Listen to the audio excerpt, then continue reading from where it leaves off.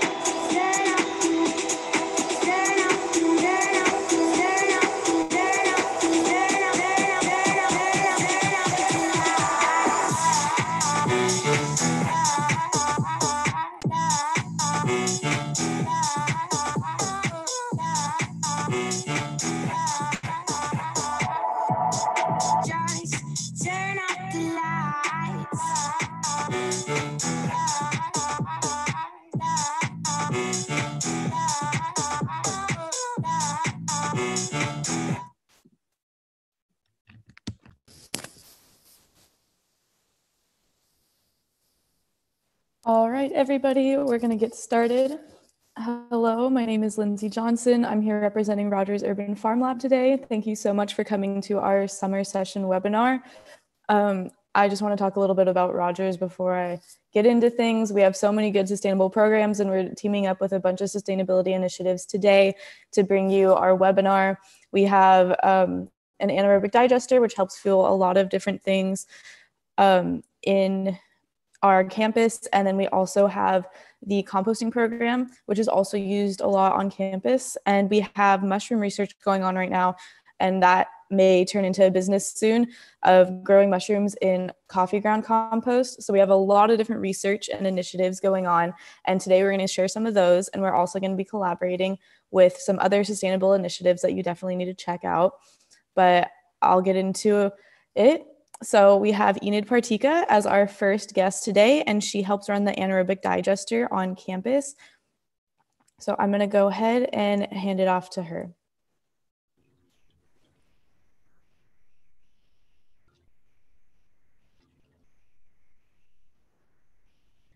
Hi, everyone. Uh, my name is Enid Partika. I am a current uh, graduate student in chemistry uh, at UC San Diego, and I'm going to tell you a little bit about the anaerobic digestion project that we've been working on. So, uh, the last live stream, I showed you a little bit more about um, what we've been doing with our family scale hydroponic system. I showed you last time uh, how we put together the hydroponics and how we can inoculate a digester. Um, so today I'm just going to give you a little bit of an update of what we've been working on. Um, so lately, um, I've actually been started to, starting to use it for um, some research that I'm doing with the Daheen Lab at Scripps Institution of Oceanography, uh, basically looking at bioplastics degradation in anaerobic digesters. Uh, so we actually got an inoculation of digestate from uh, CR&R Environmental, which is up uh, in Riverside County.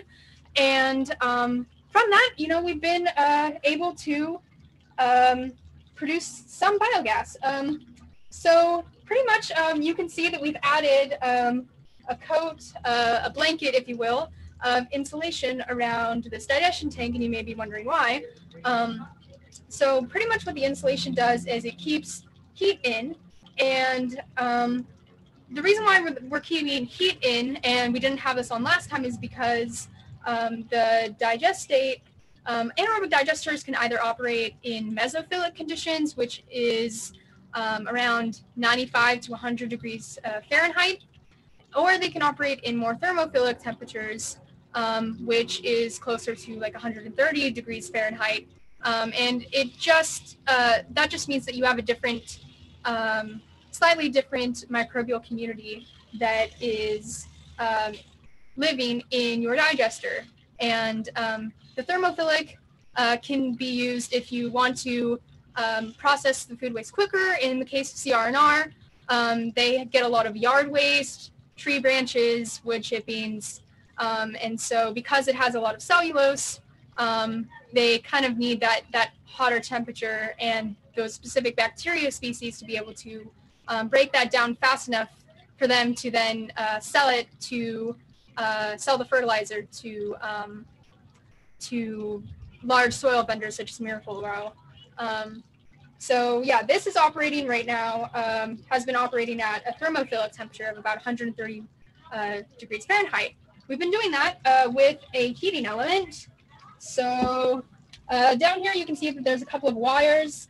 Um, basically this is a 1500 watt heating element and yeah, it's quite a bit of power. Um, definitely raised the electricity bill a little bit, but of course, you know, this is just an experimental. Uh, this is the first time we've actually tried uh, experimenting with regulating the temperature. Um, and so pretty much, uh, this is just a mess of wires right now, but you basically have uh, your pump, uh, which we've decommissioned briefly just because uh, some of the tubing ruptured. But basically, just imagine that there's tubes coming out here. It's connected to this, right?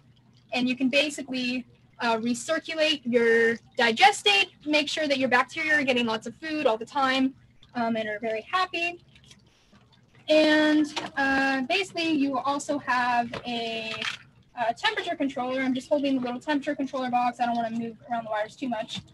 Um, bit, pretty much um, here, right, the heating element connects, and then uh, the temperature probe, which is on the other side, also connects. So the temperature probe monitors the temperature inside of this tank, uh, relays it over to the temperature controller, and then it sends um, basically a, a signal to a relay, and that relay sends the electricity over to the heating element to either turn it on or off, depending on what the temperature is.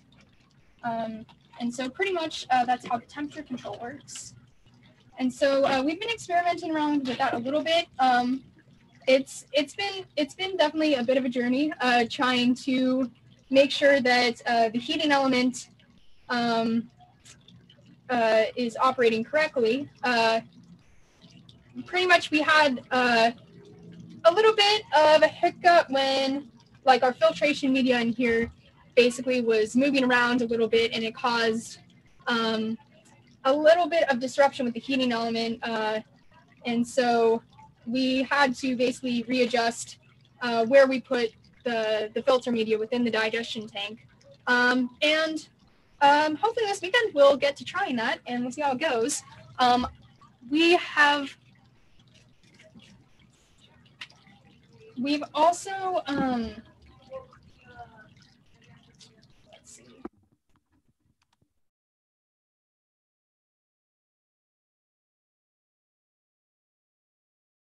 Talk about uh, the purification wall here. Um, so pu by purification wall, um, I mean that basically uh, the biogas, once it's produced, uh, needs to basically have the hydrogen sulfide scrubbed out of it. Um, hydrogen sulfide can be a toxic gas, and sometimes when your digester is starting up, um, it can produce higher concentrations of this hydrogen sulfide. So um, let me show this to you really quickly. So um, pretty much in back here, uh, maybe a little bit difficult to see, but you basically have uh, this biogas pipeline. And it goes from like the white PVC pipe to the green uh, tubing. And basically that will run all the way around here, go through our biogas flow meter, where basically uh, you can just press a little button here and it shows you the flow rate, it shows you the amount of biogas that's been produced. And you just keep going. And um, there's a lot of wires here, but I'll basically break it down. Uh, to the left here, we basically have this section that can get sectioned off. So right now, um, this is this valve is closed um, but these valves are open. And the reason why that is, is because we're trying to, um, as, as the biogas um, accumulates, it will basically run through um, this tubing into the biogas bag that's back here, uh, this blue uh, PVC bag, and it'll fill up. And once it is filled up to its maximum capacity, then it'll register that on this pressure pressure gauge, and the gas will be pushing against the water. So um, it may be difficult to see with the camera, but basically um, there's water uh, filled up to about here, and it creates a bit of an airlock. Um, and what an airlock does is basically, um, it's almost like a pressure relief valve. So actually it, it is, it's simple pressure relief valve. So um, as your air pressure builds up, um, pretty much it once it equals uh, the pressure exerted by the water, then um, once it goes over that threshold, the gas will bubble out as um, a form of pressure relief. So um, the reason why that's important is um, that if you, you get too much pressure buildup, uh, you don't want something to rupture um, or potentially leak a bunch of gas. And uh, we anticipate that once this is full, we'll want to use it. Um, but this is, you know, a good safety precaution to have um, just in case if, you know, we don't get um, the time to use it all. Um, so that's how that works. Um, and if we want to uh, cook something from the biogas, we have this biogas pump down here, and we all we'd have to do is just turn this valve on, press uh, turn on this pump, and the pump will move the biogas from this top section here and the biogas bag through the hydrogen sulfide filter, which pretty much consists of um, an iron sulfate, and then you know the hydrogen sulfide will react with that um, and basically form um, form an iron compound inside here, and then um, basically after that um, it'll just the filtered gas will move up here to our biogas stove. And um, I say biogas stove, um, you don't have to necessarily get a biogas, a special biogas stove for this. Um, it can just be run off of natural gas. Um, or if you have a natural gas stove or you have two, uh, the special tubing that can adapt like a regular cook stove to natural gas, which is just something that you get at, at Home Depot, um, you know, that would work too. Um, but we decided to go with the, the model that already is built for, for biogas. So um, yeah, we could just turn it on and voila. Um, so as we accumulate gas, we'll be keeping you updated um, on that as well as on how, uh, how our experiments are going. And, um, you know, eventually uh, we'll be showing you guys uh, some, some cooking demos off of this thing, uh, which will be pretty fun. Um, so that's um, pretty much all the updates here. Um, one more thing, actually, um, it's been a while since uh, you've seen the hydroponics, so uh, we'll take a little bit of a shot of uh, how well that's been going. So we decided to grow some basil, some kale. Um, I we had a squash in here, um, but we already harvested the flowers and like the little squash, um, so we took that out. But um, yeah, pretty much. Um, again, like I said before, uh, as the digestate accumulates, as we add more food waste um, to it, the bacteria will eat it up, um, more or less, you know, turn it into fertilizer, and um, it'll basically flow through here, uh, get aerated in our third tank, and the aeration just happens with an air stone, and you get like little micro air bubbles um, and again, what the aeration does is just um, the anaerobic bacteria, but also culture the aerobic bacteria, um, as well as convert you know your reduced compounds um, like your ammonia and such into uh, nitrates, and just make um, more nutrients readily available for plants. So um, yeah, pretty much you know it'll collect the fertilizer here, pump it up here, uh, gravity feed it down. And so yeah, uh, I've made a lot of tasty salads with this kale um, and with basil. Um, in fact, you know, I might just eat a basil leaf just just cause. Um, yeah. So it tastes good. Tastes pretty sweet. Um, we did an experiment with um, Impact Bioenergy and um, a school in Seattle where we basically had uh, the students test um, how basil tasted when grown with digestate at different pH levels, and they found that with the digestate overall it was sweeter. Um, which you know is kind of an interesting conclusion. It would be interesting to see if uh, you know we could replicate that study um, just with you know consumer surveys and um, maybe even analyzing analyzing the plant itself. So yeah, um, a lot of different opportunities with this. Uh, can't wait to make some more salad. Um, so yeah, um, that's that's about it here. Um, I hope that all of you are having a great weekend, and I am happy to answer any questions that any of you guys have um, coming up in our uh, our Q and A chat session. So, yep, have, have a great day, everyone.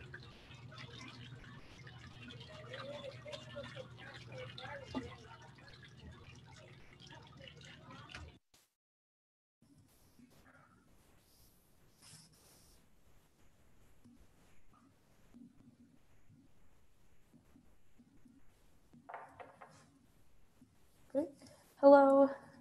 Thank you so much, Enid. Um,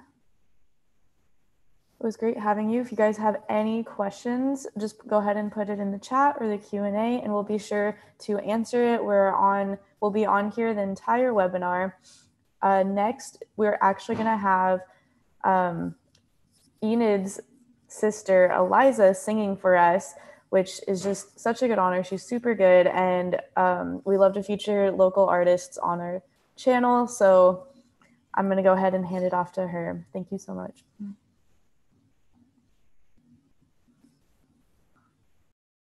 Hello, everybody. Let me get my camera up here to do start video.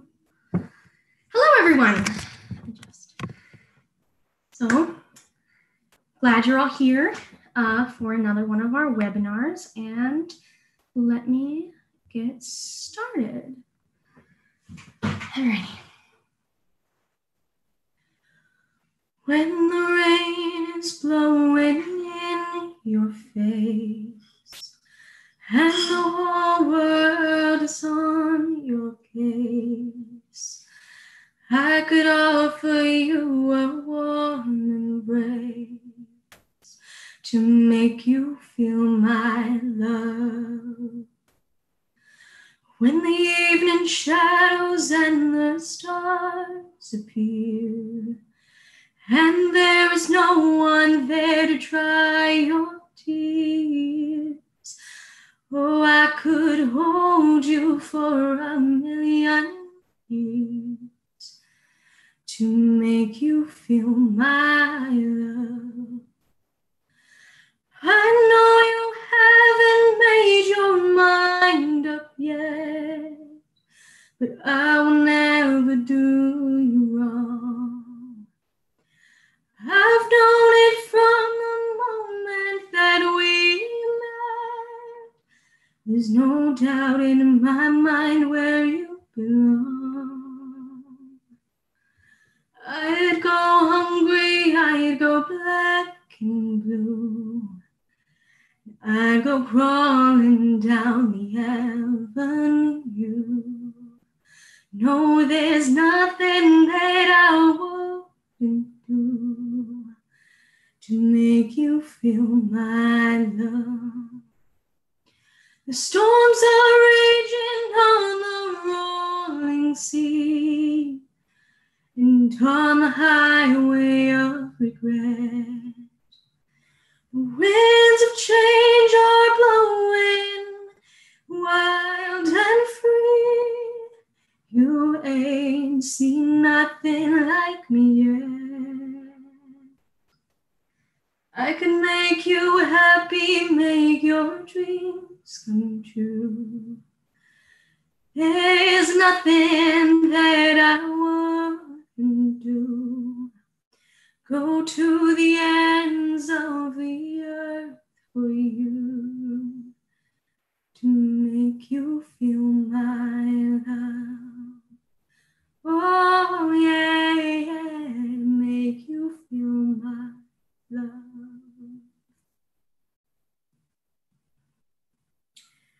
I heard that you settled down, that you found a girl and you're married now,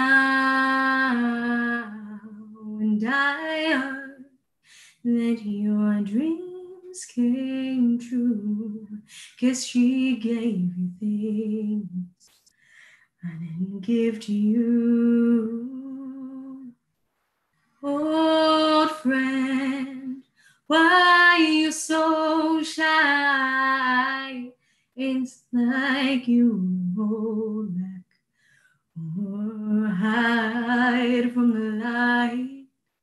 I'd hate to turn up out of the blue uninvited, but I couldn't stay away. I couldn't fight it. I'd hoped you'd see my face and that you'd be reminded that for me it isn't over. Never mind, I'll find someone like you. I wish nothing but the best for you too. Don't forget me. I beg, I'll remember you said sometimes it lasts in love, but sometimes it hurts instead. You know how the time flies only. Yesterday was the time of our lives.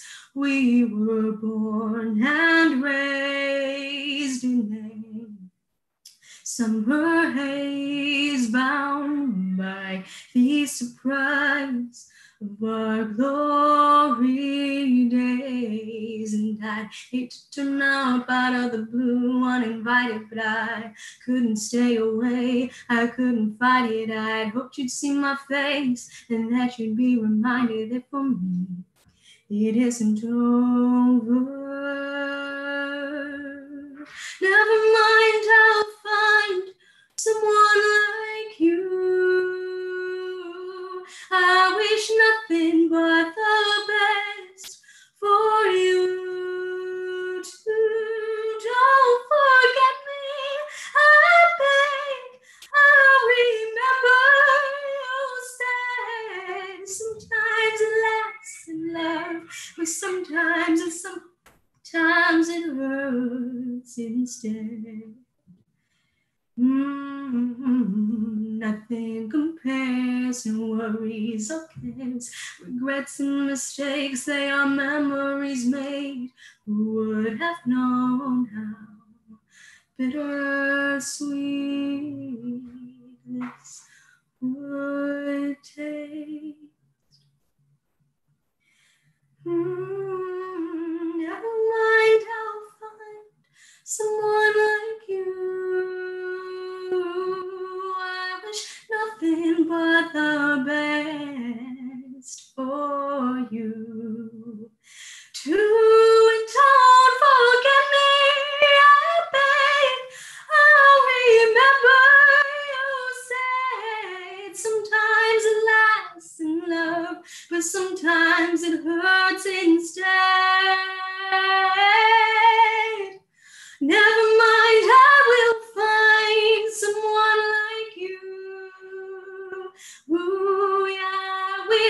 nothing but the best for you too. Don't forget me, I beg. I'll remember you said sometimes it lasts in love, but sometimes it sometimes it hurts instead. Yeah, yeah.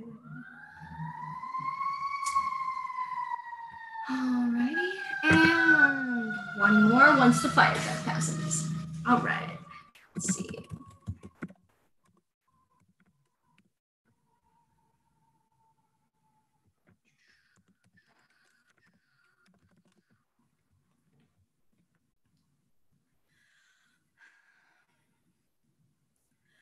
Boys walking on empty. Is that of way to face the burning heat? I just think about my baby.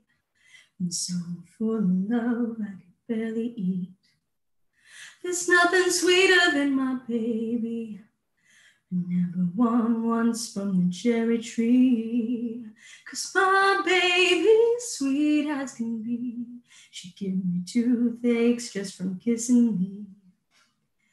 When my time comes around, lay me gently in the cold dark earth. No grave can hold my body down. I'll crawl home to her. Boys, when my baby found me, I was three days on a drunken sin. I woke with her walls around me. Nothing in a room but an empty crib. And I was burning up a fever. I didn't care much how long I lived. But I swear I thought I dreamed her. She never asked me once about the wrong I did. When my time comes around, play me gently in the cold dark earth. No grave can hold my body down. I'll crawl home to her. Yeah, when my time comes around, lay me gently in the cold dark earth. No grave can hold my body down. I'll crawl home to her.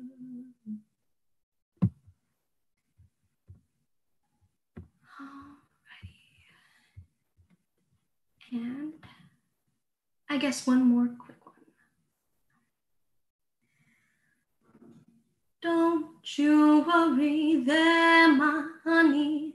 We might not have any money but we've got our love to pay the bills. And maybe I think you're cute and funny. Maybe I want to do what bunnies do with you, if you know what I mean. Oh, let's get rich and buy our parents' homes in the south of.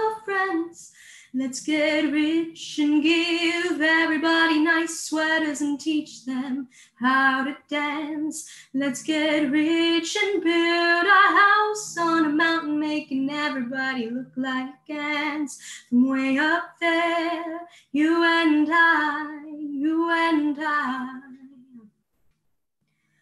Well, you might be a bit confused and you might be a little bit bruised, but baby, how we spoon like no one else.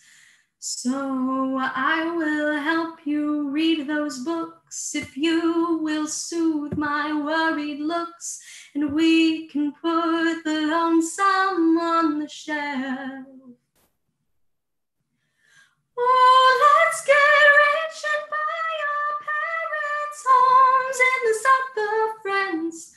Let's get rich and give everybody nice sweaters and teach them how to dance. And let's get rich and build a house on a mountain, making everybody look like ants. From way up there, you and I, you and I. So let's get rich and buy our parents' homes in the south of France. Let's get rich and give everybody nice sweaters and teach them how to dance. Let's get rich and build a house on a mountain, making everybody look like ants. From way up there, you and I, you and I. From way up there, you and I, you and I. Alrighty, everybody. Thank you so much.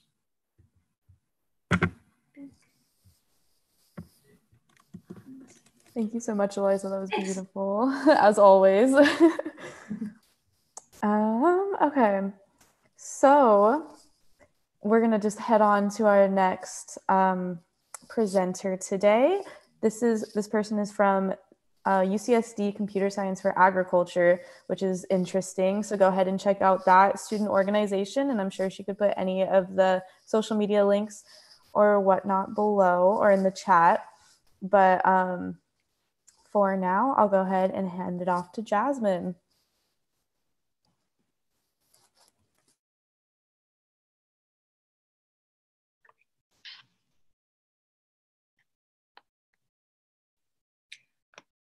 Hi, um, so my name is Jasmine. I'm a computer engineering major at UCSD, and I'm going into my third year. Um, I'm also a member of Computer Science for Agriculture, uh, CSA for short. Um, and today I'll be talking to you guys a little bit about what CSA is, what we do there, and then I'll be giving an intro to Arduino. It's one of the main components that we use in a lot of our projects. So I'm going to start screen sharing.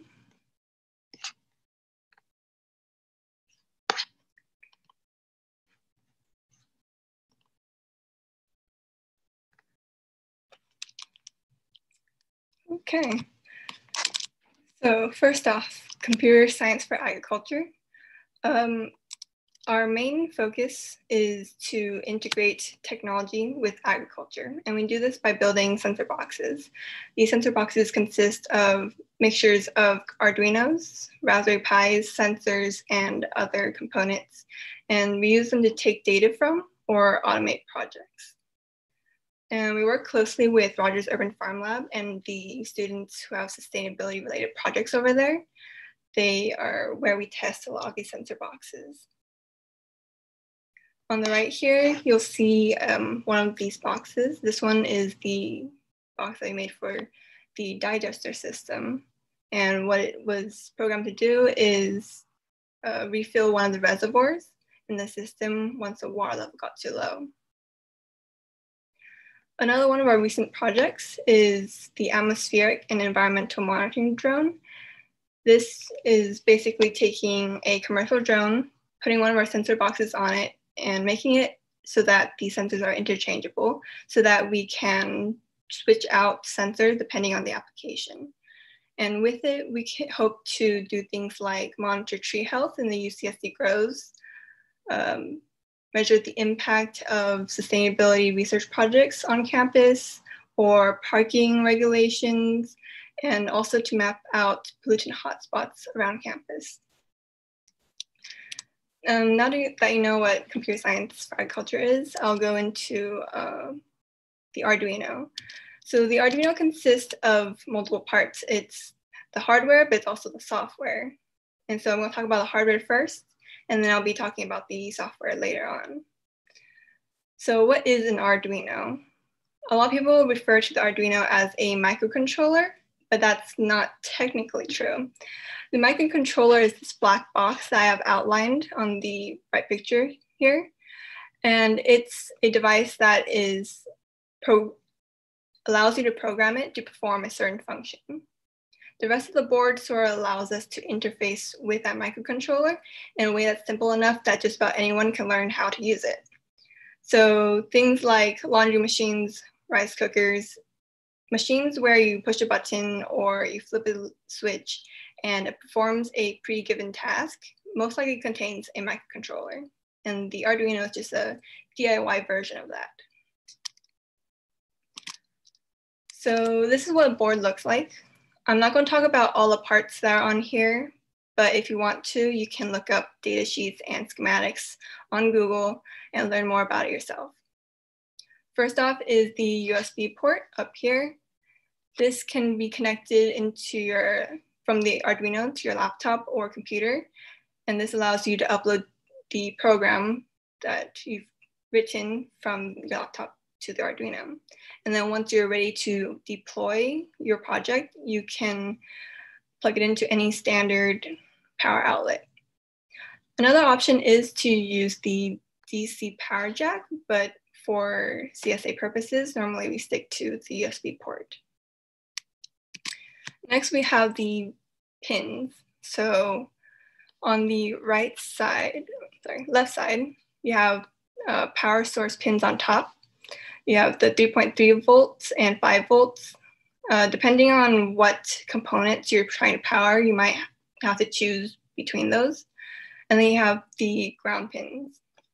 Below that, you have the analog pins, and on the right, you have the digital pins. Both analog pins and digital pins are data pins, meaning if you're taking data from, say, a sensor and bring it back to the Arduino, or if you're taking uh, values from the Arduino and sending out to a screen to be printed out. This data travels through these pins. The difference between analog pins and digital pins are that um, if you're using data that is numerical, so 0, 1, 2, 3, 4, 5, and so on, then you'd use analog pins. If you're dealing with data that's one of two values, high, low, on, off, use digital pins. Next, um, we often use breadboards with our Arduinos because it's easy to build circuits and when sometimes you have to distribute power from the Arduino to multiple components and there's only so many power pins, you'll need a breadboard to do that. And it's really nice for beginners because there's no soldering required and it's great for testing purposes. But if we were to deploy our projects, we would definitely want to solder it to a actual board because it's really easy for the wires to come out, come loose. So the way the breadboard is connected is these um, the rails on the left and right side. Um, we have the blue ones, which are ground, and then the red ones that are power. And then you have the black ones in the middle that are connected horizontally. And what you can do with this is something like this. So if you have, say, you want power, you can connect it to the power rail right here. And then you'll see two more wires coming off of those power rails, distributing the power to the two separate components. And so I think that's about all for the hardware. Now onto the software. The Arduino IDE, also known as the Integrated Development Environment, allows you to write code and then later on upload it to the Arduino. And so if you want to download it, you simply have to look up Arduino download and it'll take you to this website and you download it. Once it's downloaded, you'll end up with a new sketch. This is sketch. Um, this is where you write your code. First up here, you see the setup area, and this is run once, once your Arduino is plugged into power. And then after that, it continues to loop through the code in the loop section as long as it's plugged into power. What's great about Arduino is that they actually provide a lot of resources. So as you can see here, they have example um, sketches that are pre-written for you.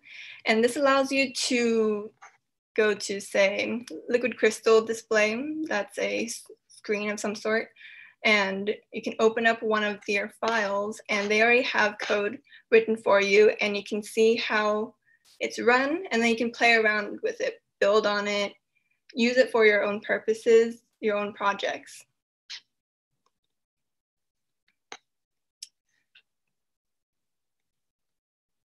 Arduino also has what's called libraries. So that's packages of pre-written code that you can um, use. And it's really easy to go online and search up Arduino um, let's see, LCD library. And it will pull up and then you can pull up the first link and it will give you all the functions you could possibly use with the art with the LCD component. And these are the examples that you saw um, up here, those are the same examples. And so that's what's really great about Arduino. It's really user friendly. And if you want to learn something, it's super simple to just go online and look it up because Arduino is open source, which means everything's free online for you to look up and use. Another place to check out if you want to get some ideas on projects to work on is the Arduino Project Hub. And they have basically allows people to go on here and post projects that they've created. And they give you just about everything you could possibly need to recreate the project yourself. They give you the parts lists. So this one is a snake game. So I thought this was pretty cool and they give you the code, they give you the schematics so you know how to wire everything together. And so if you do want to start learning Arduino, it's super easy and there's so many unlimited possibilities. And so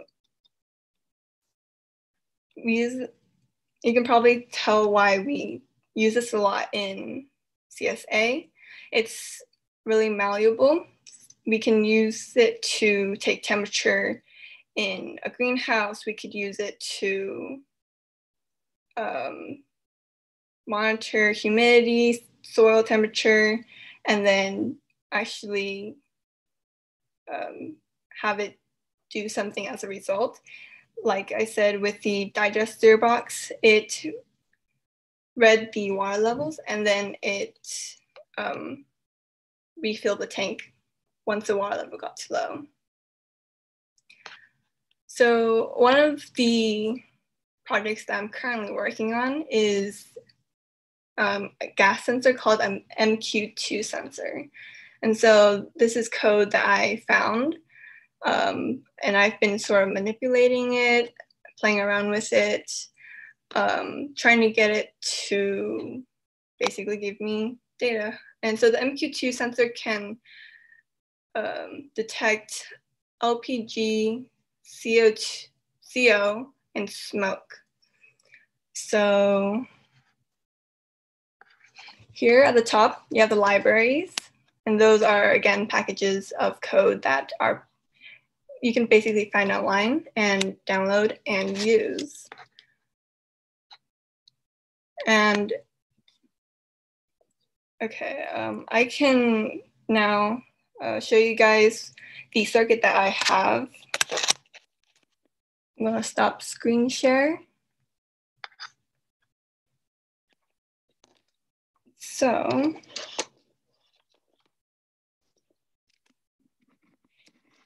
this is the MQ2 sensor. I have an LCD here, the breadboard, and the Arduino.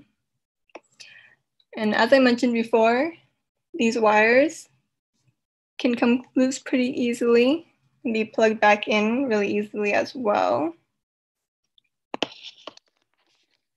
And so once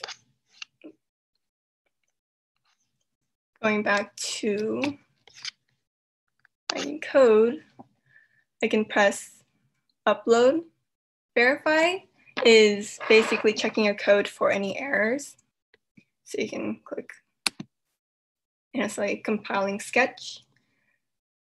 And then if you hit upload, it uploads the code to the Arduino.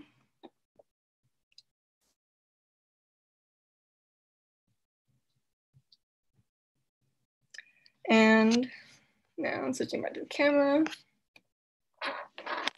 You can see it's, there you go.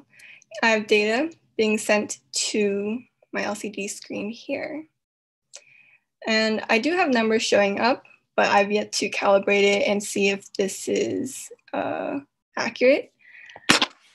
Part of it is also getting the data into a form that we can actually analyze. Because right now it's giving me numbers, but what I want to know is um, how much percent of a gas is uh, in the air and things like that. Um, there's one more thing I was gonna show everyone. Um, I think that is about all. So if you guys do want to learn about the Arduino more, there's a lot of resources online. So I wish you guys the best of luck learning about it. And I guess I'll hand it back to Lindsey. Thank you so much, Jasmine. um, perfect. So our next performer is going to be the person who talked to you about anaerobic digestion earlier today, Enid, and she will actually be playing violin for you. So I'll go ahead and hand that back to her.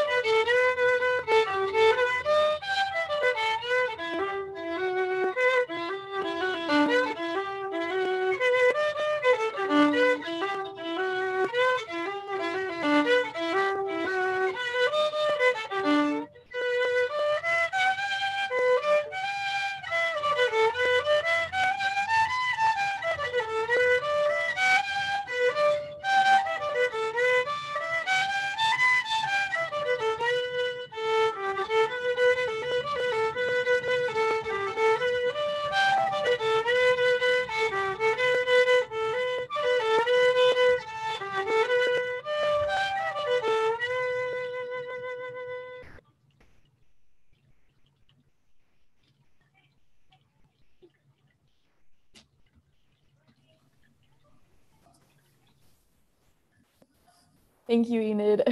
that was beautiful. Um, so for our next presenter, we actually have a guest speaker for us today. His name is Ramiro Lobo, and he's with the UC Extension for Small Farms, and he specializes in small farms and agricultural economics. So we just wanted to pick his brain a little bit on that.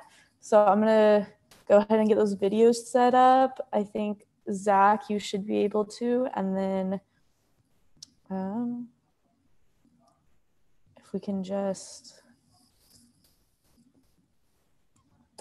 Hi, Lindsey. I'm unable to start my video, but I was able to mute my mic.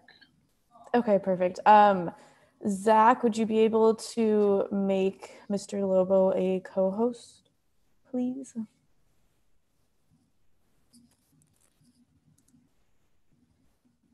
See, I think he's probably setting up for the next segment.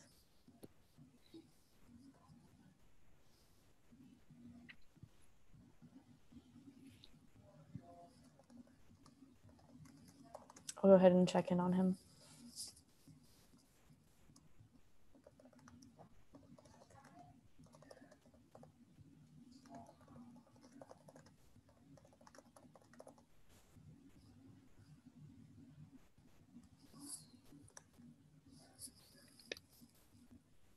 Uh, while we're waiting for this, I can, I'll just go ahead and go over Oh, dear. The schedule. There we go. Oh, you got it? Okay, perfect. Can you make um, Mr. Lobo a co-host, please? Oh, yes. Thank you.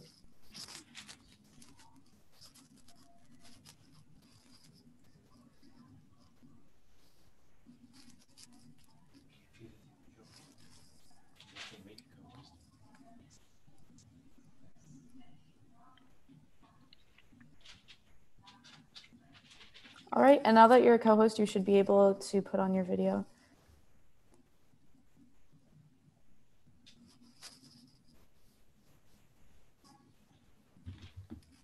Okay, there we go. Nothing changed. And then whenever Zach's ready, he'll begin with the questioning. Thank you so much for coming, by the way. My pleasure.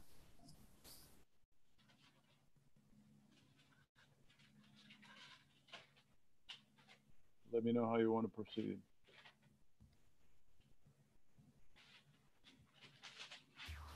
I think Zach's just getting set up, but you should start in just a moment.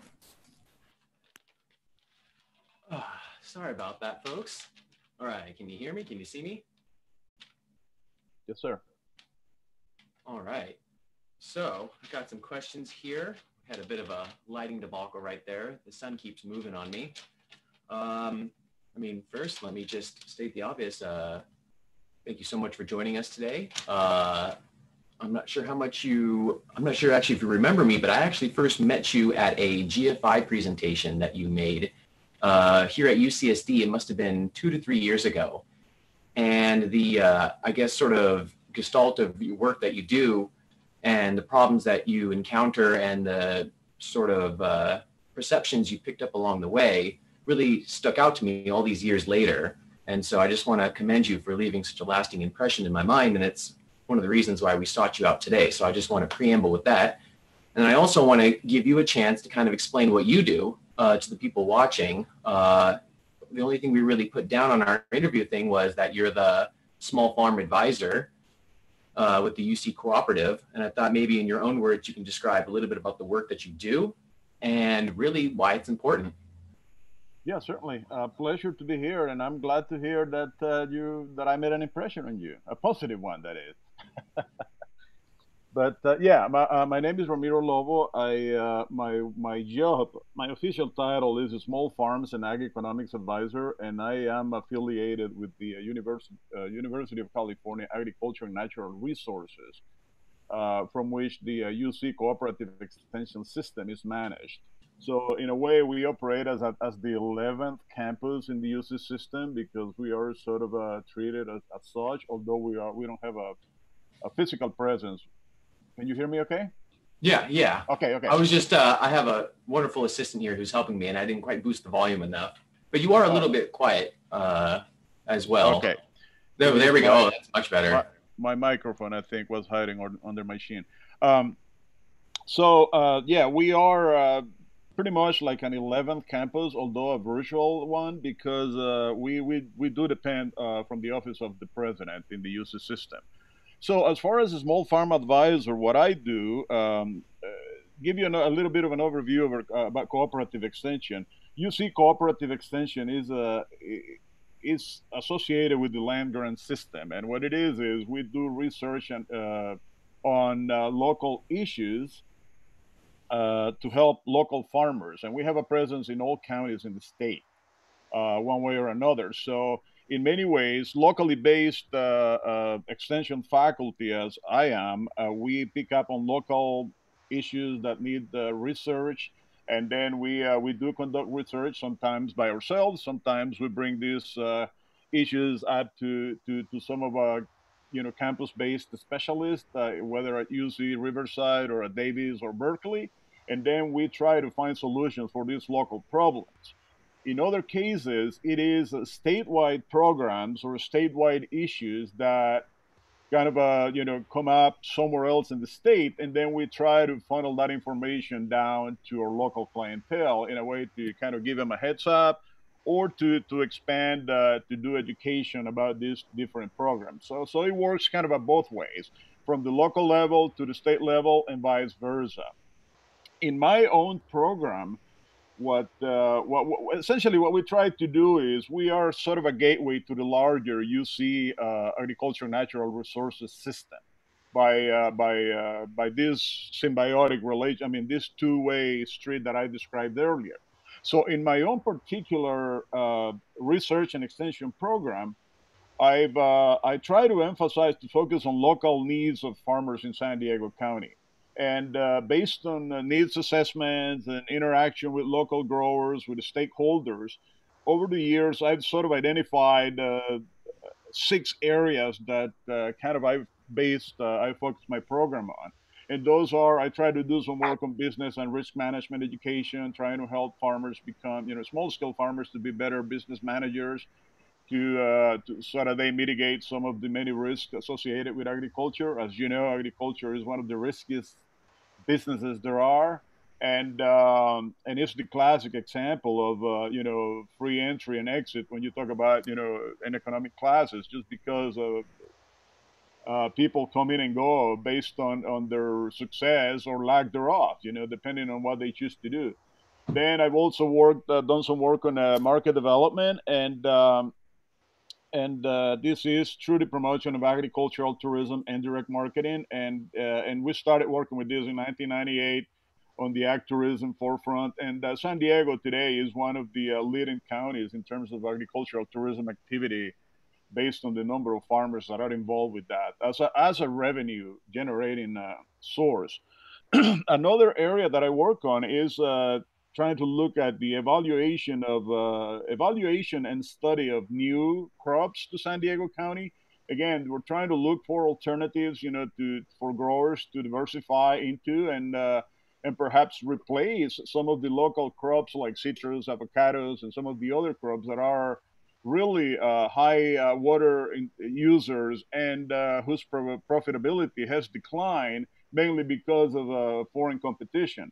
So as part of that project or program area, I've uh, I've been able to collaborate with many other colleagues, and we've uh, started out, you know, with the blueberries is an example of the crops that we sort of introduced as part of that program or that effort.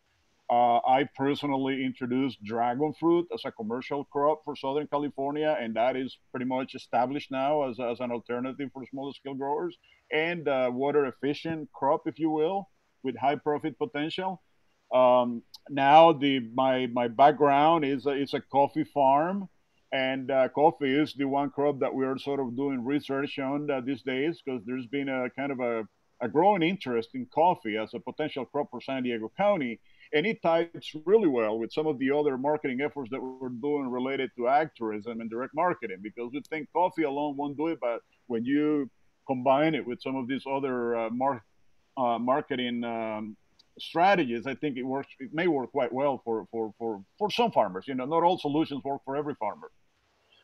then uh, I also try to educate new entry growers, people who are new to San Diego County or new to agriculture. Usually, I those calls come to me, and uh, I try to uh, play devil's advocate and uh, drill them, you know, with hard questions about why they want to get into farming and uh, and so on and on. So we offer again uh, access to information you know we don't recommend the specific crops or or uh, or make decision for people they we, we provide all the information or as much information as we can for them to make a decision you know based on the, on their assessment of, of both their ability as farmers and the resources they have um, uh, another program area is IPM and pesticide safety. Again, trying to secure, you know, the uh, the food that comes to that goes out to markets. Uh, we try to educate farmers about uh, both the conscientious use of uh, pesticides. We know agriculture, you cannot do it all organically, and, and, and even for organic pesticides, you know, there is uh, there are some risks associated with it. So we try to educate farmers about following proper, you know, the labels and proper protocols for, for using, for applying them, and or disposing of, uh, of uh, you know, containers and all that.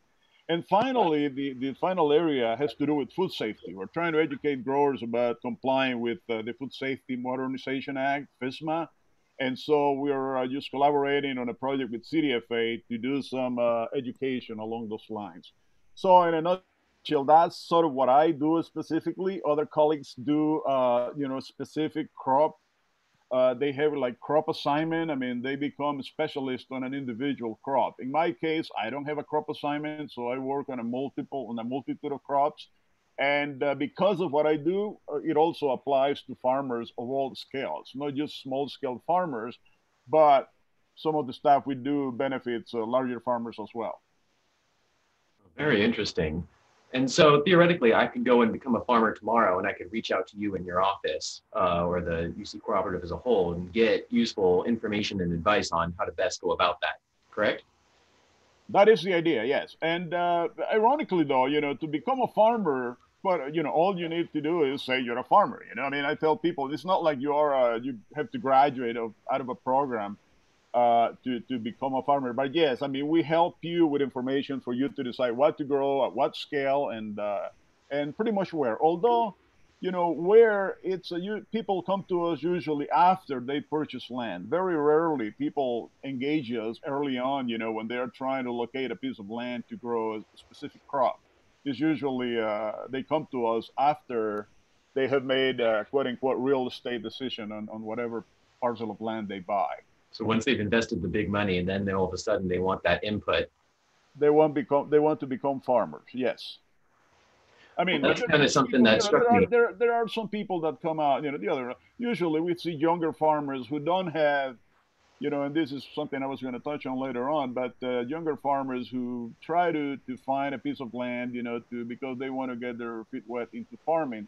So they uh, they start just kind of uh, looking out for that piece of property that will be available for them to use.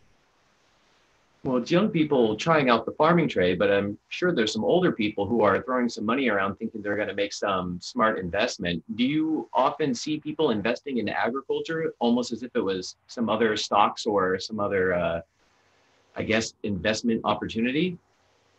Well, you'll find it's funny, but a lot of people, because of the economics of agriculture in San Diego County, and uh, specifically the price of land and, uh, and and other productive inputs and water, the the people who can buy land in San Diego County are people that typically have made money somewhere else. Uh, in some other industry, and like I said, you know, they they uh, they get sold into a piece of property, whether it is a house with uh, two, three, four, five acres, or a parcel of land that they are buying, in a way speculating on real estate and then they want to become farmers. So the thing is, the funny thing is that most of these people, you know, they they they sort of lose their business savvy, you know, when it comes to agriculture, and they don't think it is real money they are playing with, uh, you know, when when when when trying to decide what to grow. So it is uh, it is a sort of a rude awakening because agriculture is a cutthroat industry, no question about it. And uh, and the thing is, when you come and you uh, into the into the industry. You know, there is people with uh, plenty of expertise out there who've been doing this for a significantly long time, and they know how to do it. So you you are at a competitive disadvantage from the start. You know, the, depending on on on what you get into. So that competition, where does it derive from? I see these articles talking about how the nation's farming force is growing older and older, that we don't have the replacement numbers. But when I look at, I guess, sort of the free market of food, there seems to be quite a bit of competition and attempts to undercut one another.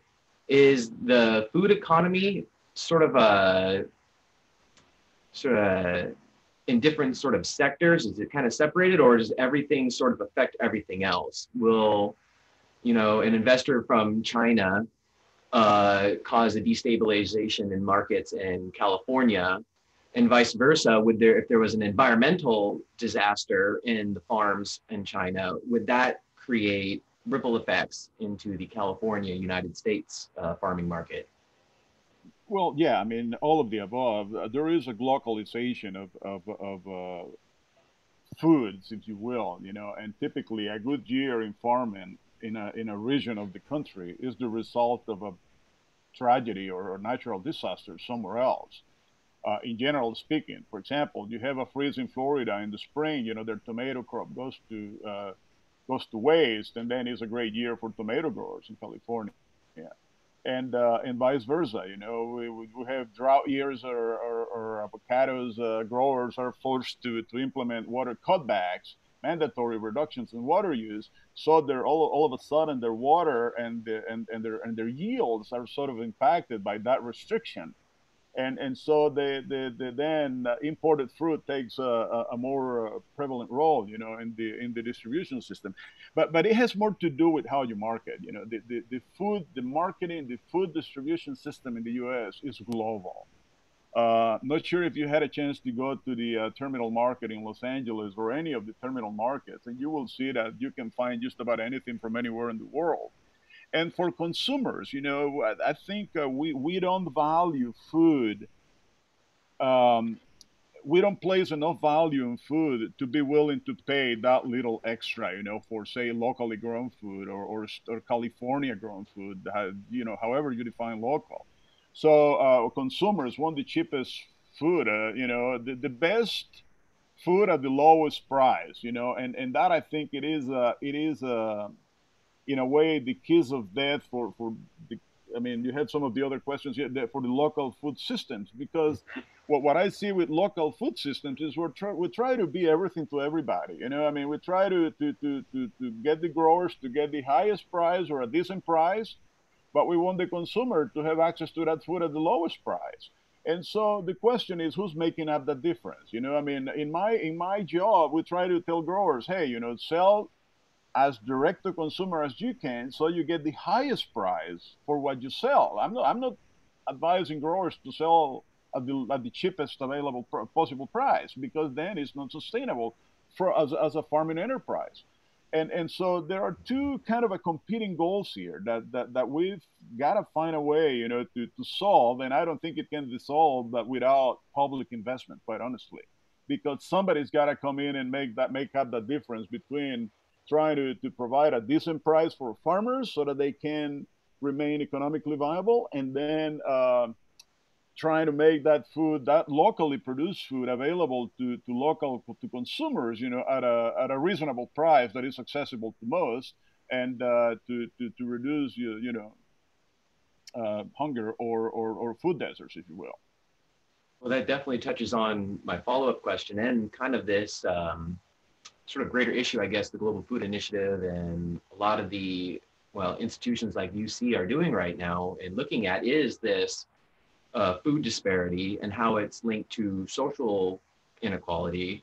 And how do we go about creating a system of food that's not only socially just but also economically just and environmentally just as well?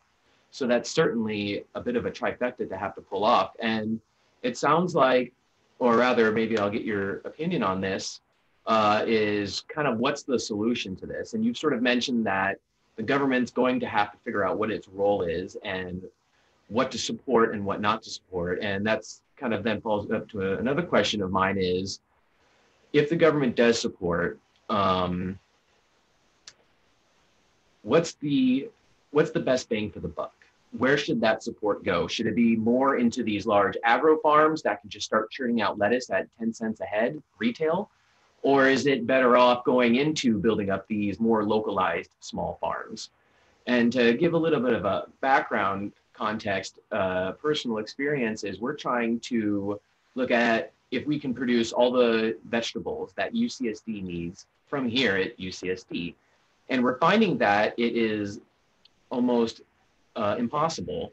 Number one, because of climate, we're in a very coastal microclimate, which is good for some things, but not really large scale uh, agriculture, the same way like, let's say UC Riverside might be set up mm-hmm. for it. UC Riverside also has a lot more available land. It's a lot cheaper. It has better access to water. And on only that, but it's not covered in eucalyptus trees, uh, preventing any sort of agriculture to go. And what we've started to realize is that we really should be for every $100 we invest into growing food at UCSD, we can grow one pound a week, let's say. That same $100 invested into UC Riverside can grow 10 pounds, 100 pounds of produce each and every week. And we're starting to realize that while it may be more sustainable to grow our own food here at UCSD, we're finding that we can't grow it nearly as efficiently as UC Riverside. And the inefficiency of needing to drive up there and pick up the produce is still a lot less energy and time and fiscally uh, disadvantageous as it is to try to just produce it ourselves. Is this a similar, what we're experiencing trying to grow our own food and realizing UC Riverside really should be the centralized food producer? Is this sort of the reality of the situation that we're seeing on a national scale and maybe the number one problem facing localization? Ah, that's a, a lot in that. yeah, I know. I can reduce I, I, that a little bit if you need. well, what, what I would say is, uh, I mean, if you want low price food, then, you know, specialized monoculture farms are the way to go. But in a way, and, and, and no question, I mean, that we are really good at that in California. And, and I would say the US is really good at that. And that's why oftentimes we have surplus of just about anything that we grow you know, intensively or extensively, I should say.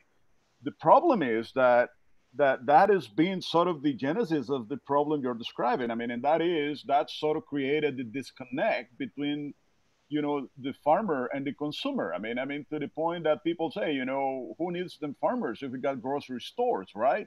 I mean, because everything that comes out of say these larger farms, which you know play a, a key role, you know, to feed people or, or, or U.S. City, uh, people in the U.S. and the world, if you will, if you want to extend it. But the thing is, local agriculture, yes, it is going to be costlier. You won't be able to compete with those farms because you'll have to find different marketing channels. I mean, if you grow, I mean, in, in, in, I mean, once you go up in scale, say from one to ten to hundred acres, your marketing strategy has to be different. I mean, uh, with small scale farms, oftentimes you are diversified and you are selling locally. And what I tell people is, uh, you know, sometimes we need to grow crops locally that help us not only provide revenue for the business, but also help us build community. Uh, help us build awareness about education, help us build awareness about the important. I mean, think of San Diego County and, and, and, visualize it without any avocado groves or any citrus groves. I don't know how much you've traveled into Valley Center or the inland valleys. And, and, and my golly, I mean, it would be a desert. So just the, the environmental contributions that agriculture make, you know, to San Diego residents, to the quality of life are huge, but they are not usually quantified. People take them for granted. They don't get any value at all. So yes, the, and the cost for this food is going to be perhaps a little bit higher than if you buy some imported, say, peaches coming in from Chile or South America or what have you. They are not going to be as fresh. They, they, and, and so there is a, to me, the solution is sort of a, a tiered system where you support local agriculture just because uh, the values extend beyond the economic value of food produced. I mean, it's it is the contributions to, to, to, to society with uh, they diversify the food system, diversify the diet, the, the ethnic, the cultural contribution that uh, that these foods make because they, they are usually produced by ethnic farmers. And, and so there is a whole lot more into a local food system than the actual economic value of the food that is being sold or, or produced. And that's where I think those should need some support, those small scale growers, uh, in the sense that to make up that difference. Or on the other hand, we need to educate consumers about you know that, that local food is a differentiated product. It's not just food. I mean it's it's got a, a, more value because of all the intrinsic elements that come along with it you know? And so people may be more willing to to, to pay a higher price for that. And, and people are you know way back when we started working on ag tourism we did a we did a sort of a willingness to pay type study and asked people if they'd be willing to pay more for local food. And and and and, and you know 50% of people say yeah we'd be willing to pay more. Then we drilled that question into consumers and how much more would you be willing to pay if you knew something is labeled as locally grown, you know, and that by that we meant San Diego grown, you know, and they say, well, anywhere from 10 to 20 percent. Uh, the reality of it is, you know, with most willingness willingness to pay uh, studies, you know, the, it's hard to you never see it in practice the way people respond, uh, you know, when we when, when you do the studies. But there is an intention there to support local farms, to support local agriculture. And, um, and I think we should uh, do a lot more work on that and hammer that part and also try to support these local farmer movements because they uh, they do more than just produce food. They they help sustain you know the they bring us back to basic and basics and sustain you know all a bunch of other elements that are not captured in the price of a head of lettuce that is grown in the Salinas Valley, for example. Interesting. So it really sounds like there's not going to be any one silver bullet to deal with the issue. And it's really going to be sort of a confluence, it, sticking to large scale agriculture where it's applicable, uh, trying to bolster and encourage local scale agriculture, ideally where it's desired. And then, sort of on the in between, it sounds like marketing uh, and getting people to kind of actually put their money where their mouth is uh, and actually do something about it. And it's kind of interesting because I've looked at kind of what past other civilizations and countries have done. And sometimes for them, they fix that problem by simply mandating that the people now can only access their local market of food in an attempt to force people to start buying locally made. But then that comes in with all sorts of other sort of chain reactions and really sort of social political issues as to the role of government at that point. And so it's kind of interesting to see. And I guess your opinion on this is America sort of unique in that regard, or are there other countries that have kind of figured this out? Or is America's unique situation kind of force it to find a unique solution for itself? Or, and vice versa, is what's working right now actually a good thing? It's just uh, with the global population and how everything is sort of changing, population density, is that kind of where the issue is stemming from? I kind of gave a lot there again. Well, I think uh, the solutions, yeah, there is no silver bullet for sure. And, and some of these problems have to be solved locally. I mean, you were comparing UC Riverside and UCSD, for example. I bet you what you can you can grow some things in open fields in uh, in UCS at UCSD that you cannot grow in Riverside, and vice versa. Uh, or, or, or, but but then if you use if you apply technology, which is I think offers a lot of opportunity for us here, and I see, and by that I mean controlled environment type agriculture, you know, and and a lot of the systems that go along with it. I think those are opportunities for for incrementing local food production and perhaps at a much more efficient uh, rate, and, uh, and, and that can translate into uh, into lower prices, you know, for for for food.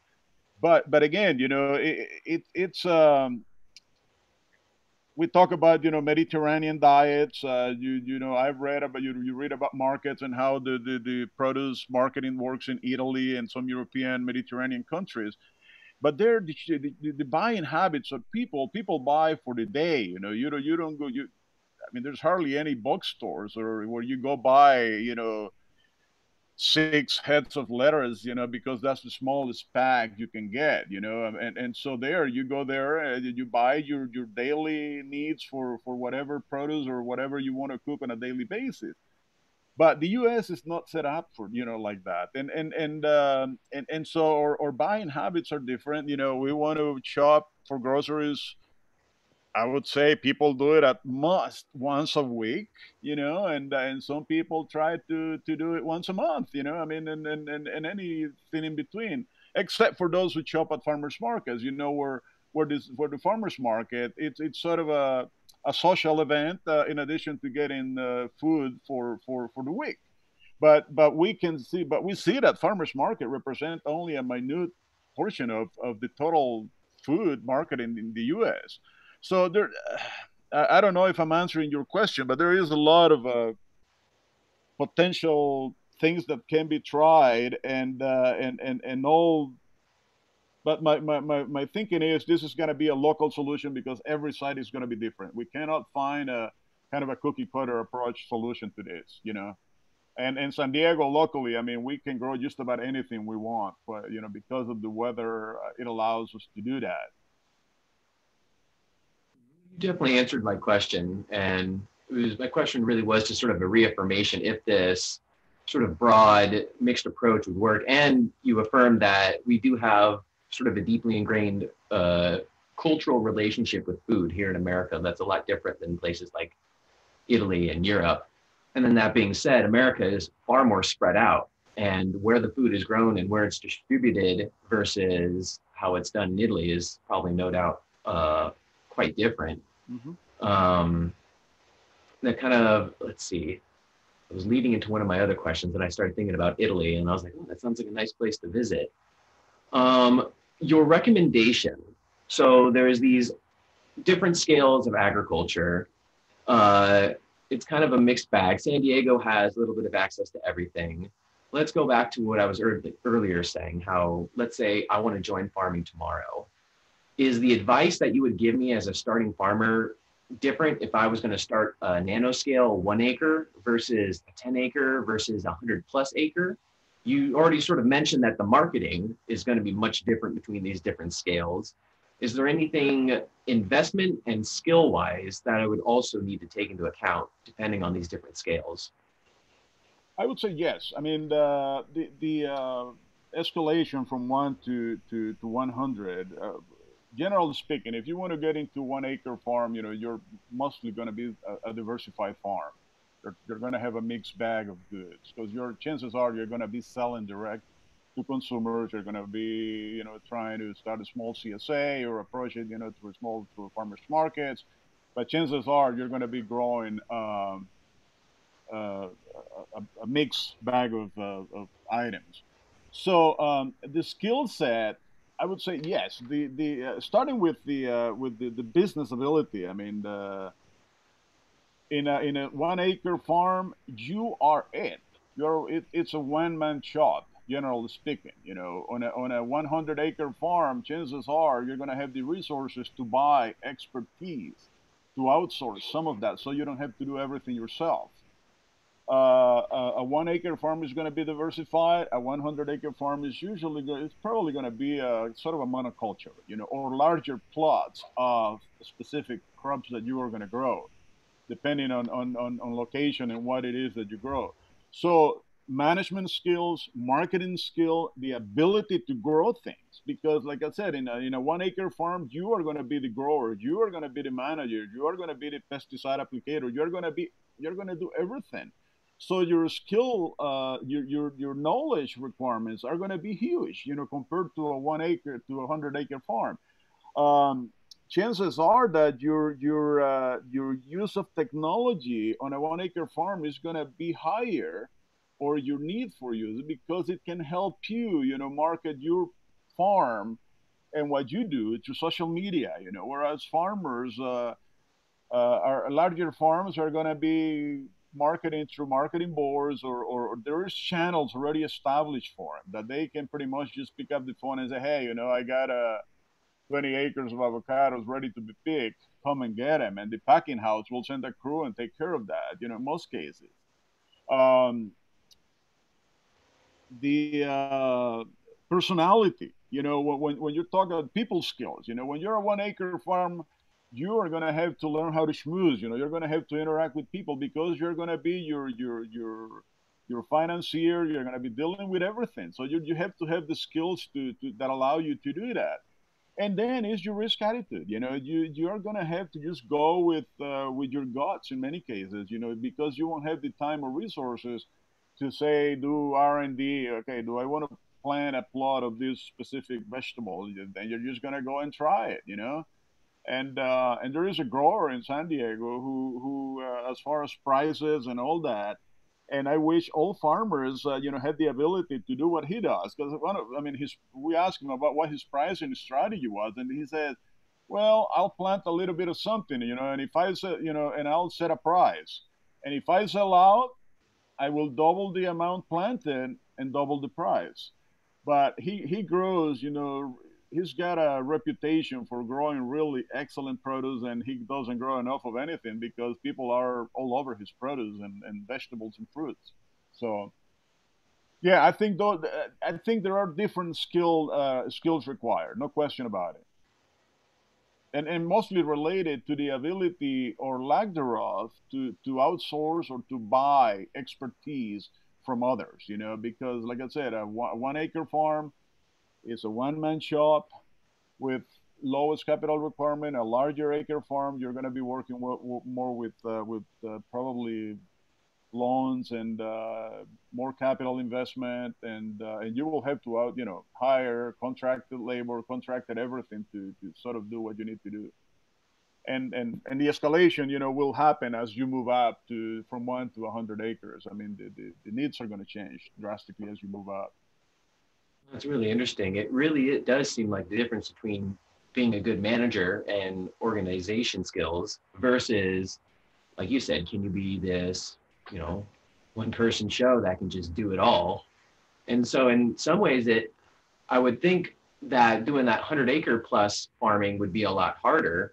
But in some ways, it almost sounds a little bit easier because it's a lot more turnkey, I guess you could say. Whereas if you do just a single acre, there's tons of nuances that then go into the process.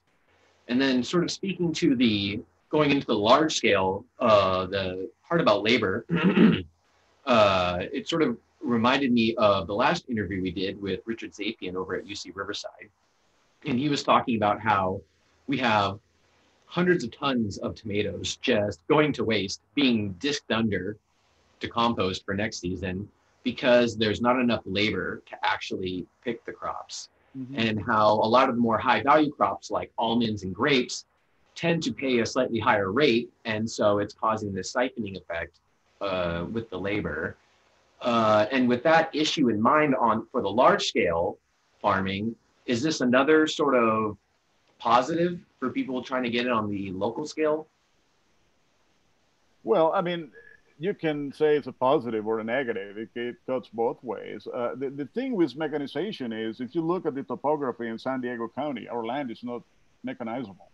I mean, there is hard, very little mechanization that you can implement here. I know there is efforts in the in the Salinas Valley, and a lot of the the, uh, the labor required, you know, with tomato. I mean, the tomato harvester made a huge difference in California with the tomato with the processing tomato industry but there is no way you can mechanize, say, heirloom tomato production because I mean that is such a delicate product that it, that, that, that it is based on the skills of not only the grower but the picker. You know, you got to be able to pick it pretty much with uh, with silk hands. Otherwise, you know, all, I joke with a grower, you know, in Carlsbad about his heirloom tomatoes uh, and the fact that I tell him, hey, you look at them and they split. You know, if you pick and vine ripe. So there's no way you're going to mechanize that there is no way you're going to mechanize some of the other crops like say dragon fruit some of these smaller specialty crops. So yes i mean mainstream crops that are grown in larger scale in some specific areas i mean we, we know about the, the, the, the, the mid plains you know the corn the soybean the, the wheat the, the sugar cane and all those things are highly mechanized crops but they grow expanses of land same thing with lettuce and uh, and say strawberries uh, in in the Salinas Valley, and and they are working on trying to on robotics for picking strawberries, and they are going to make a huge difference in terms of on cutting on the labor requirement for those crops. But it's going to be specific to some crops. and uh, and our food uh, system or in our diet is so diverse that labor is still going to be a huge part of uh, of what we do. I mean, of, of, of, of, what we do, especially in San Diego County, because of of the uh, parcel sizes, topography, and uh, and the types uh, of crops that we grow. Hmm, very interesting. Well, uh, the last interview as well, I invited him and thought about the creation of a sort of a roundtable discussion. And I think at the next webinar that we do, we're going to invite uh, Paul Watson uh, from a community nonprofit.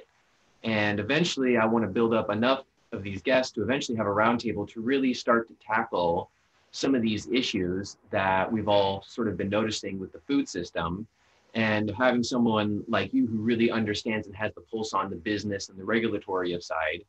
We have Richard from UCR who really understands the perspective of the farmer. And then we have Paul Watson who has the perspective of community. And I guess I'd like to invite you right here and now to be a part of that roundtable to kind of hammer out some thoughts and solutions uh, for these issues and try to come up with something that is that aforementioned social, environmental, and fiscally sustainable way of doing our food systems. Does that sound sound like something you'd be interested? Yeah, I'd love to participate. Oh, fantastic. Um, well, it's been really great talking to you. Uh, I forgot to put a clock near me, so I have no idea if we're over the time or under the time. Do you have a clock near you? What time is it? 741. 741? Oh, well, we went over a little bit, I think let's see, this started at what, seven? So we were supposed to go till 720. So we blew through our music and we're currently cutting into our next presentation. That's okay. I think it's Will, and I think he's going to be teaching us how to cook with some mushrooms. Uh, it's been such a pleasure having you here today, and I cannot wait until we have you back again. Yeah, same here. Pleasure. Thanks for the invite. Awesome. And uh, uh, go yeah. buy San Diego grown. Try, be adventurous, buy unusual stuff they say if there is a fruit grown anywhere in the world, you will find it in San Diego. Uh, so the the, rare, the, California rare fruit growers is a great way to connect to exotic fruits and uh, and plants and um, and patronize local farmers markets and uh, yeah, support our local farmers. Well, there we go. I'll put that down in the chat, and then we usually get at least over 100 people who have been watching these webinars in the coming weeks afterwards. So we'll definitely post it in the description there as well. Thank you so much for visiting us today. And uh, we look forward to seeing you next time. Back to you, Lindsey. Same here.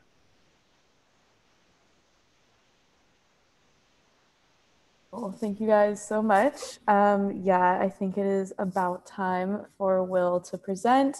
Um, if you can go ahead and make Will a co-host, we could go ahead and start that segment. Um, so Will today, he is an undergraduate student at UCSD and he helps out a lot with Rogers Urban Farm Lab.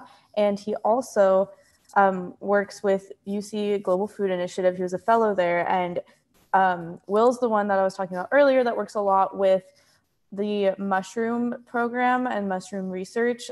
And he is looking to start a business growing mushrooms from composted coffee grounds. So plays into all these sustainable agriculture initiatives. And today he's going to be talking to you about cooking mushrooms and what you can do at home with them. So once we have, we can just make Will a co-host and we'll hand it off.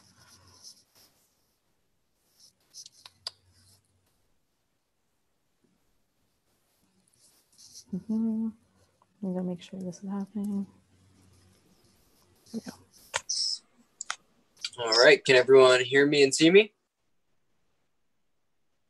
Yeah, you're good. All right, awesome. Thank you for introducing me, Lindsey, and very awesome presentation, Mr. Lobo. Really enjoyed it. Very interesting, as especially as someone who is interested in interested in starting my own small farm, uh, small farm growing mushrooms. So, very interesting to hear that.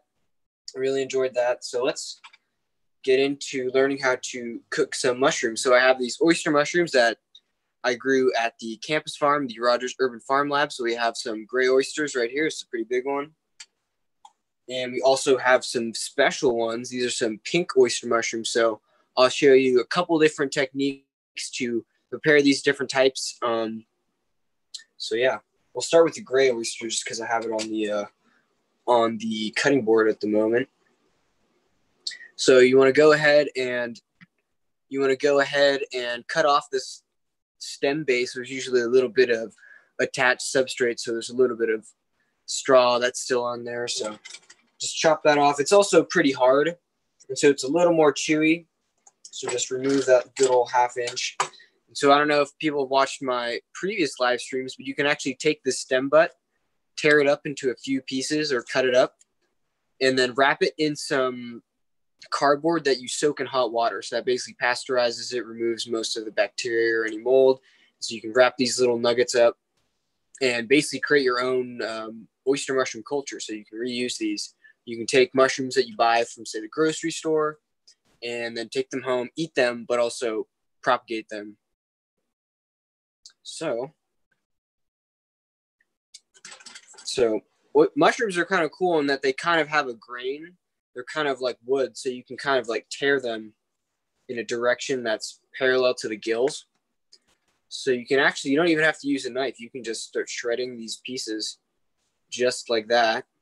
And so this also allows you to kind of control the, uh, the texture of the mushrooms that you want to cook. So you can get long stringy pieces, long stringy pieces. So these will be a little bit more like noodly, especially since you're not cutting the fibers in any way. If you wanted to cut these finer and give it a more uh, yeah, more fine texture. You just take, take your knife and cut that, but you can just shred it as so. And a few pieces like that, just tear it. So you can actually see there's the gills, individual gills. So right now there's probably a thousands of spores coming off this thing. So you keep shredding it down. And also a lot of people like to like rinse all their produce before they um, before they cook their food. So I usually don't recommend that with mushrooms, but based on the technique I'll show you, it's actually kind of a benefit, especially if you use the technique that I'm going to use, because it helps to wet them, pre-wet the mushrooms, so you don't have to add any water to the pan later. Just keep shredding that. Almost done. chunky piece. So you can take that and cut it a couple times into smaller pieces. Try that out.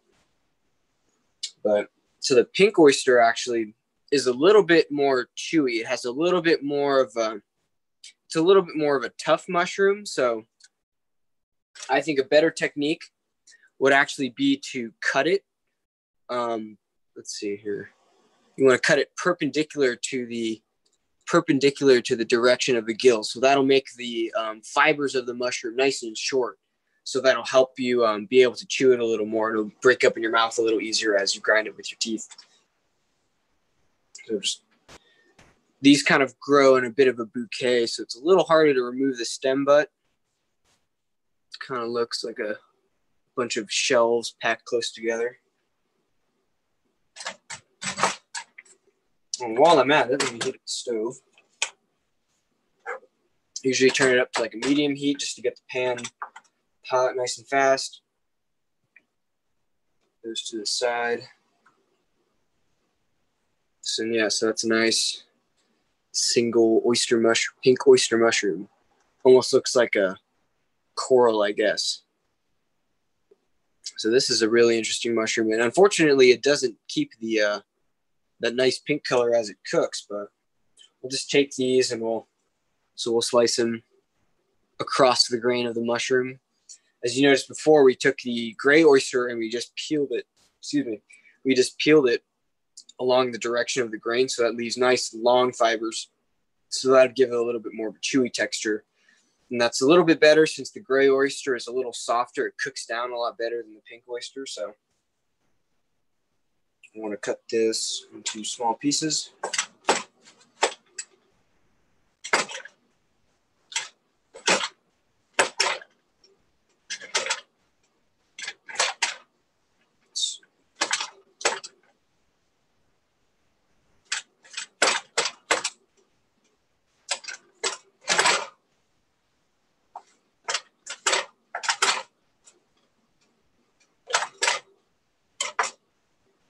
So you can kind of do the same thing with the pink oyster. It's a little shorter though. It doesn't get as quite as tall as the um, as the gray oyster, but you can definitely peel it a little bit. But it's definitely a lot stronger. You can definitely it definitely has quite a different texture when you eat it. So definitely recommend cutting it, um, cutting it uh, a lot, or yeah, perpendicular to the grain. You cut into fewer small pieces, so that tends to help cooking. So I think pan is just about ready. So what I do is, is you take the take your mushrooms and just throw them into the pan. And then you're gonna want to add, I don't know, just a little bit of just a little bit of water, not too much. I would say one or two ounces, one or two ounces per pan is typically a good amount. What you're trying to do is basically lightly steam the mushrooms just enough so that all the um, all the air pockets inside the structure of the mushroom get filled with that steam. And so they get saturated with water. And so that basically allows the heat to penetrate a little deeper and faster into the um, into the mushroom so that helps cook it a little faster. So as you also noticed i also didn't add any oil to the pan yet. And so you want to do that, you want to hold off on adding the oil because otherwise the the mushrooms would just absorb that oil into the pores and then you'd, you'd have to keep adding oil to the pan and your mushrooms would eventually get just saturated with oil.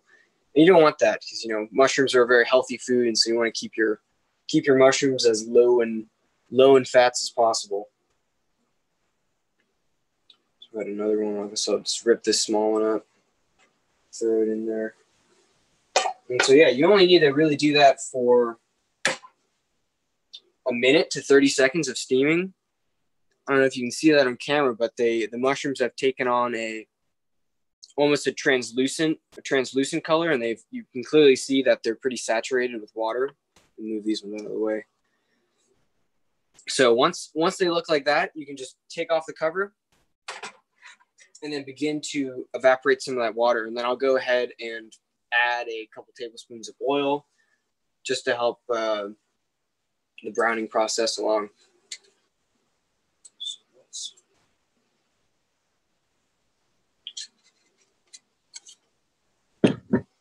So I'm going to go find a spoon real quick so I can stir this.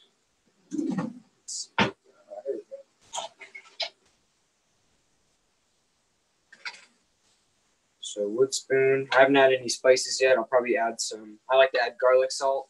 It's probably my favorite thing to season mushrooms, salt and pepper, also a good one.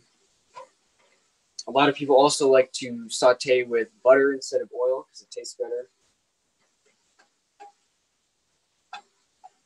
Um, I typically do that if I'm making like an omelet or something.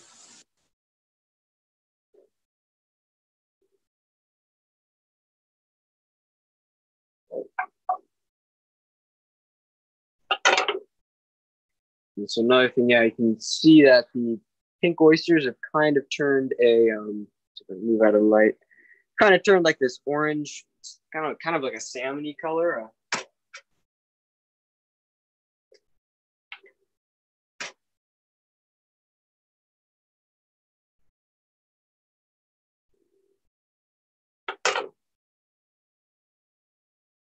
and so I I typically like I'll throw uh, the sauteed mushrooms in just about anything. I'll put it in a quesadilla, eat it with some pasta. Uh, very, very versatile since mushrooms don't really have, especially oyster mushrooms, they don't really have a strong flavor on their own. So they typically just um, take on the flavor of whatever you're cooking them in, and they kind of add a little bit of a little bit of texture to your meal that's usually a good substitute for uh, uh, meat. And mushrooms actually are a very high percentage of protein, up to 20 to 30% in some species. So it's a very good and sustainable source of protein.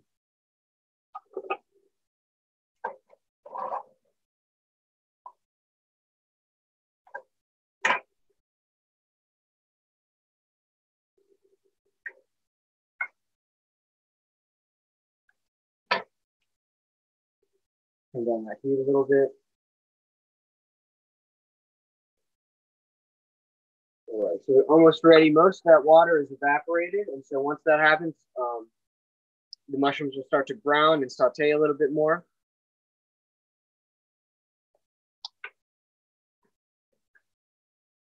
And so at this point, you're basically just looking for the color. Um, just cook them to however golden brown you like them. And usually at this point, I'll grab the, where's my,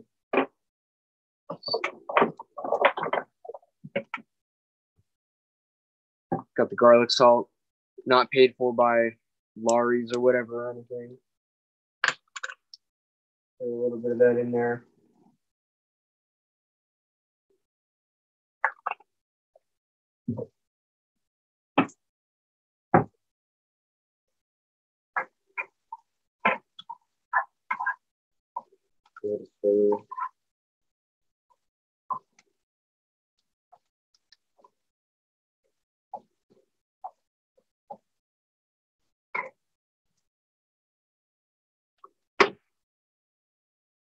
So yeah, these were grown at the grown at the UCSD campus at the Rogers Urban Farm. And so one thing I what I really like about the local area is the uh, the microclimate is fantastic for growing mushrooms and only mushrooms. Our our normal plant-based crops don't do nearly as well as our mushrooms just because we get a lot of the um, we get a lot of the marine layers, so we have a lot of overcast a lot of the day and it also we also receive um, lower temperatures as a result. So plants don't really like this, especially during the summertime. But mushrooms seem to love it. So we've been able to get um, mushrooms fruiting in a completely unclimate controlled greenhouse in the middle of summer here in San Diego. So it's pretty advantageous in that you don't really need to invest a whole lot or spend a lot of energy doing like air conditioning or anything. So you're definitely working working with the land a little bit more.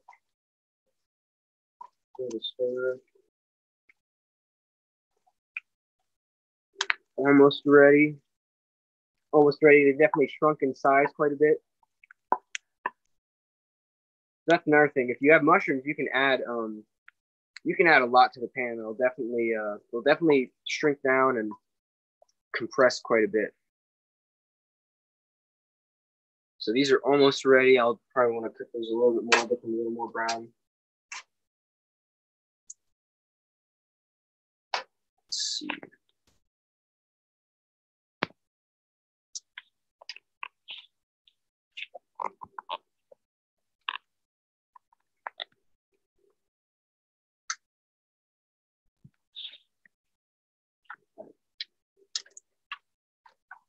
All right, so pretty much there. I think I'll call it right there.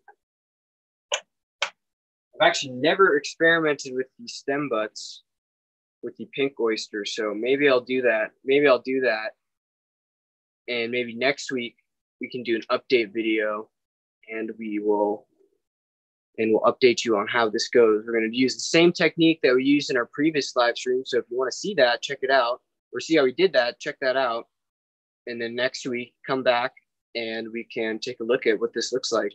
So I'm gonna go ahead and chop this into some smaller pieces and then I'll find some, go find a cardboard box or something and I'll wrap it up.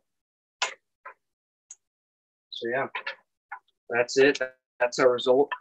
Nice, perfectly browned mushrooms and nicely seasoned.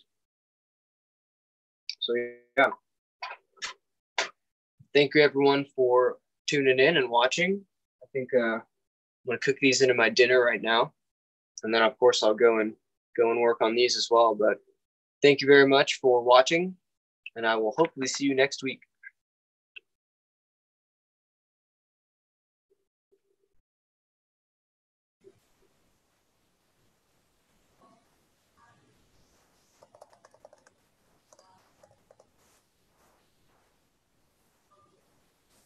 All right, so um, my Wi-Fi cut out, so I don't think I can share my screen anymore, but I would just like to say thank you to everyone who has joined in today. There's a lot of really good links in the chat and there's a good question in the Q&A, so please go ahead and check that out. Oh, I think I could start my video now. Okay, perfect. Hello. Um, yeah, so as I said, go to the chat. There's a lot of good links, and we'll be sure to post that in the YouTube video when we post that as well. That's going to be Rogers Urban Farm Lab on YouTube. And then um, for if you want to learn more information about Rogers Urban Farm Lab, you could go ahead and check us out on Facebook as well. We have a Facebook page. Just search up Rogers Urban Farm Lab and you'll be sure to find us. And then um, we'll post every single link that we've mentioned here in the bio. And I think that is everything for today. Thank you so much. I hope you guys have a great summer and a great weekend, staying healthy and positive, and we'll see you guys next time. Thank you.